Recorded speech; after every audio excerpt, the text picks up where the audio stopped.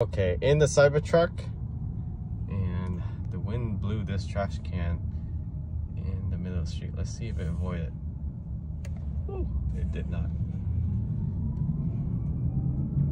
Well, actually it did. If you manually move the steering wheel.